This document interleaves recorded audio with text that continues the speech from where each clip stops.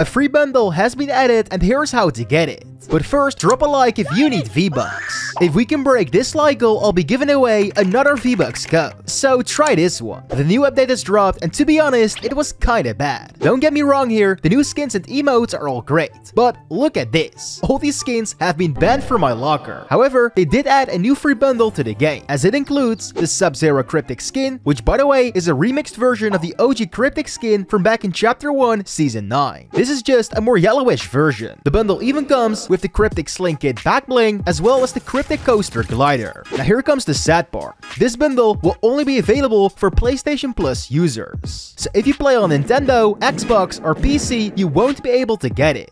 I just think it's really unfair and Epic should give all players this bundle. Comment L Epic if you agree. And for those with attention to detail, the items from previous PS Plus packs are actually part of the set as well, being this pickaxe, wrap, and emoticon. Expect this bundle to be released soon.